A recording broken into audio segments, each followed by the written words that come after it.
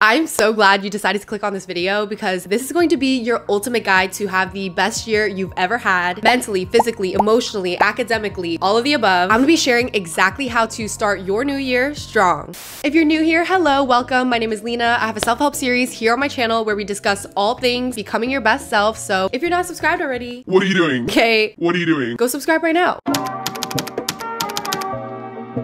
So start by having an overarching theme for 2024 or what I like to call era. Something I love doing, I'm sure we all love doing, okay? Every new year, we love to make lists of like 20,000 goals that we want to hit. I want to start doing this, I want to start doing that, and then none of them end up getting done because there's just so many and they're all over the place and you don't even know where to start. So I found that having this overall theme that just encompasses all of your goals is super helpful in just reminding you of all of your goals and sets the tone of what you want your year to look like. So basically, I'm in my blank era. So you want to choose something that really aligns with your goals for this new year and this new version of yourself. And I want you guys to grab your journal and write it down or leave it in the comments so I can read it. Check my comments. I read all my comments. So for example, it could be I'm in my academic, social, wellness girl era, or I'm in my independent, abundant, organized era. So mine for this year is actually I am in my healthy, abundant, productive girl era. And honestly, the reason why I chose this theme for this year is because last year, 2023, the theme for that one was my humbled, healing girl era. Okay, not by choice, I was forced to. Like, I'm gonna be honest, life really humbled me. Your girl was going through a it. lot of the things that I really defined myself with, in other words, like kept me feeling safe and secure, was kind of tested or taken away from me in 2023. So, for example, I lost my core group of friends from college. I was friends with them all four years. We had a huge falling out. So I struggled with a lot of loneliness and, and struggled with trying to make new friends. Another one, I was working with my dream brand, Gymshark. It was my dream to become a Gymshark athlete, and I finally was until that year. They dropped me. so I literally went from feeling like I was on top of the world to having that stripped away from me. Oh, and also during all this, I was on birth control, so it really just screwed up my mental health. I'm off of it now, thank God. At the time, it made me super depressed and just super tired. And I didn't know it was the birth control. I thought it was just me. And just overall other personal matters that just made me really go through it. so 2023 really made me go through some stuff, but also forced me to heal. And not to sound super cheesy and typical, but I'm so glad I went through all these things. I genuinely believe this like with all my heart. And I feel like God lets life humble you to help you grow, to teach you, to help make you more mature, more wise. And you can't grow or evolve without discomfort. And honestly, the real fear shouldn't be going through stuff. It should be being stagnant because that means no growth or evolution is happening. I genuinely feel so much stronger and just ready to take on this year because of what I went through and what I overcame. So embrace the growth, okay? Don't run away from it. Don't feel defeated by it. You will overcome this. Whatever you're going through, you will overcome it. If 2023 was kind of trash for you too, don't worry, you're not alone. And instead of seeing it in a negative light, we are gonna turn her around and make it so that it fuels our hunger for this new year to achieve our goals and to become our best selves. So now ask yourself, what are the actionable steps I can take to embody this new era for myself? So basically, any hobbies, activities, habits that are gonna help you be in this new era for yourself. And I actually like to categorize them so it's more organized. I wrote down in my journal in 2024, I'm in my healthy, abundant, productive girl era. So under healthy, I made the subcategory goals of mental health, spiritual health, physical health. So under mental, some of the things I put is journaling daily. The real ones already know I love journaling. I do it already every single day, but I really want to work on being super vulnerable with myself when I journal because sometimes, I'm not gonna lie, I'm just like,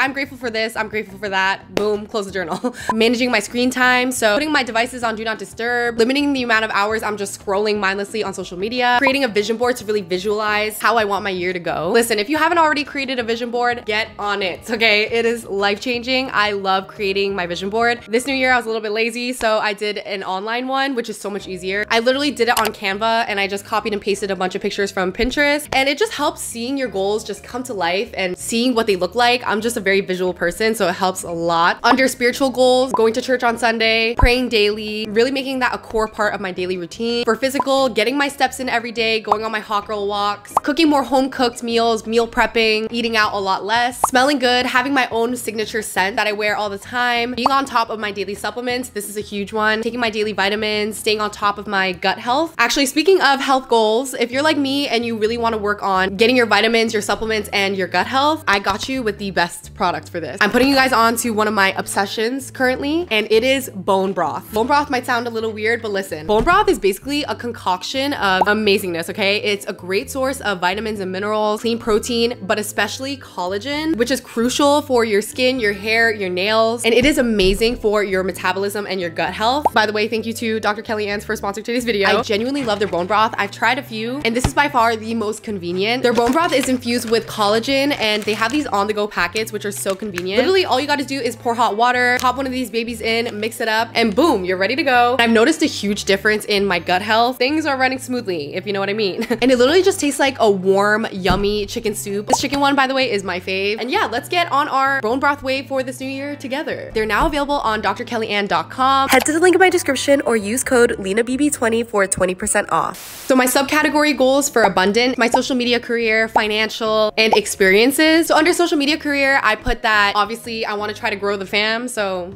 go subscribe if you're not subscribed. and my goal is to post quality content weekly, following a weekly schedule, showing up for you guys, obviously, posting short form content, launching my business. For financial, I'm gonna budget, really track my expenses and put limits on myself, you know? Shopping, I'm gonna put things in wish lists instead of just impulse buying. I don't know about you, but I can definitely work on that. Under experiences, I wanna travel more and invest more in my travel and also put myself out there in social scenarios and really taking initiative in making plans with people and trying to make new friends. Another one actually is is going to influencer events. Listen, this is really out of my comfort zone because influencer events, they scare me. like it's a little bit intimidating and I also have imposter syndrome. I just feel like I don't belong there at all. But you know, 2024 is the year that we get out of our comfort zone. So underproductive, sticking with my daily morning and night routine, using my planner and calendar for my weekly, monthly schedule, having a weekly, monthly reset. This is life-changing. Basically a dedicated reset day where you declutter, reorganize, refresh. So yeah, that's basically all of mine. And I want you guys to start organizing your actual actionable goals with your overall theme. So, you know, that way you start the new year with all of your goals organized in your head and you are ready to take action. Not just talk the talk with your goals, but walk the walk. Declutter, detach, delete. So the start of the new year is honestly the ultimate time to have the biggest reset before the busy year ahead. So now is the time to declutter your space, declutter your mind, clean your room, rearrange your room, organize the way you have your clothes, organize your class schedule for the month. Listen, I know we all have that one drawer that we shove all of our mess in and we close and never look at. Yeah, you want to open up that drawer and start cleaning. It's a new year, so I want you to start detaching from past experiences, toxic people, painful memories. Basically, you want to leave behind anything that is not serving this new era for yourself. So if it's not serving you, making you better, making you happier, detach from it and, and let it go, okay? Delete. So go through your phone, delete any screenshots that you have that you don't need. I know we have tons of them. Go ahead and delete photos of that one person that when you see that photo, it literally makes your heart sink. I know we all got old messages from that one person that we should not be keeping keeping. delete, get rid of it. Or you know, it doesn't even need to be that deep. Just go through your laptop or your phone, delete stuff, clear out space. I know we all could use some extra storage space. I'm telling you, resetting will be that thing that really sets the tone for your new year. It just gives you this like blank canvas to work with. After you do this, I promise you, you're gonna find yourself so much more refreshed and ready to take on the new year, which leads me to my next point, leave the trash in 2023. One thing I will say is I know we all have some work to do in terms of leaving behind anyone or anything that does not serve this new version of ourselves, whether it's a toxic friend, a toxic coworker, or bad habits that we know that are not good for us, but we continue to do, even our own toxic thoughts about ourselves. Basically, anything that is not good for us, take all that and leave it behind. You basically want to just enter this year with no negative strings attached so that you can make room for the positive new ones. And I don't know who needs to hear this, but even if someone hurt you, you need to learn to forgive and let it go. The more we hold on to painful things that we know are not good for us, the more we're just hurting ourselves. So honestly, something that really helped me personally is writing letters to people that have hurt me or your past, your younger self even, and just let it out. Say all the things that you want to say and get your closure. Yo guys, my notes app in my phone goes crazy, okay? I have written letters, like essay long letters to people who did me dirty or hurt me in the past. I just basically let my feelings fly. I just type away, I spill everything. But at the end, I always make sure to forgive them, myself, and let it go. Because ultimately, I want to have the control. I can't force someone else to apologize to me. I can't go back in time and force younger Lena to not make those bad decisions. But what I do have control over is how I feel about it now and how I choose to move forward. So I want you to know that you have the power to bring yourself peace. The words you speak are not just words, they are your superpower. Believe this, okay? I want you guys to believe this. So basically, whatever you say out loud or to yourself will always come true. Let me tell you, I was the queen of having low confidence, okay? And you know why? Because I used to be the person that always told myself, I'm gonna start working out this year. I'm gonna start getting good grades. I'm gonna start posting on YouTube. I'm gonna start learning a new language. I'm gonna start doing this and that, whatever. And every single time, I could never follow through. And every new year, like clockwork, I would write down all of my goals just to hit none of them.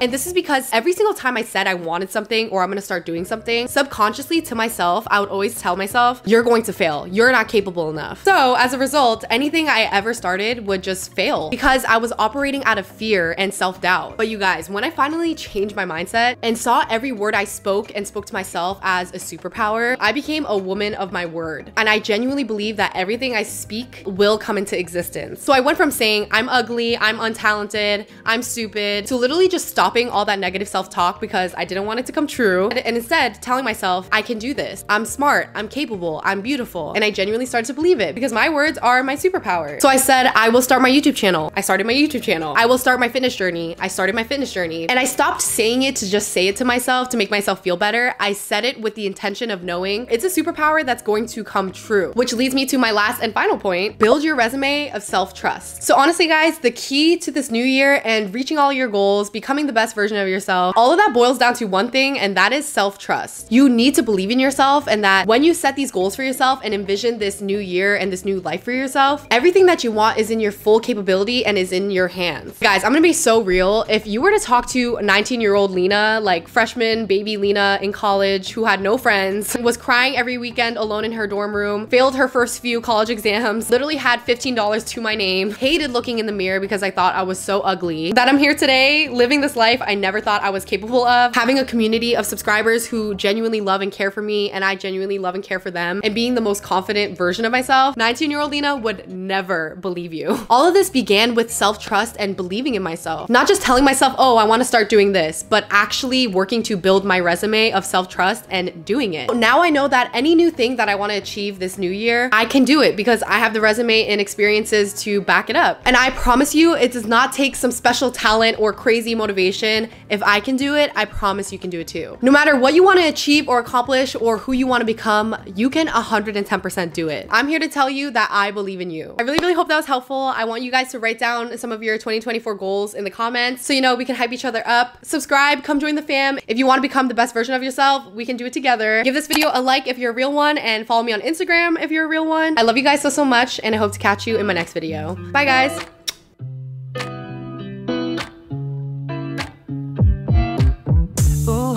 taking a ride to Joanna Lake 눈치 보면서 들어가 할 때 찾아